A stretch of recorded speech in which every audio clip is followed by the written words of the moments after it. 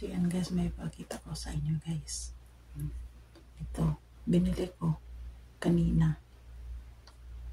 Ano siya? 500 grams. Turmeric. 500 grams. Sa Pinas may tanim ako na turmeric. Fresh na fresh kakainin ko. Ma, every morning kakainin ko yung isang ganito. Isang ganito guys kakainin namin sa nanay ko. Kuha din siya. Yan. Ganito kalaki. Kakainin niya. Every morning. So, ayan guys. Ito din. Is turmeric. Turmeric din siya. Maliit. Ano lang to? 1 and 1 fourth ounce. 1 and 1 fourth ounce lang siya guys.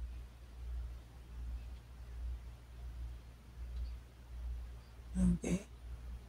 Okay, one and one part. Again guys, so pipili kayo guys kung saan ang bibilihin ninyo.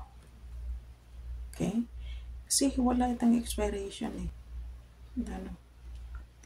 Expiration ito is years. So, ano ang saan ang iyong pipiliin? Itong 499 o itong 5 bucks. 499 bucks or 5 bucks.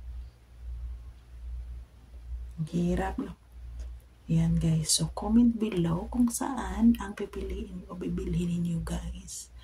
Itong 499 or itong 5 bucks.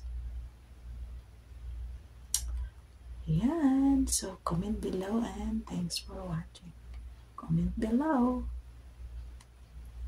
kung ano, kung saan ang iyong pipiliin. Itong 1 and 1 half ounce na 4 ba, uh, 4.99 bucks. Itong 5 bucks na half kilo. Yan. See you in the comment box. Bye.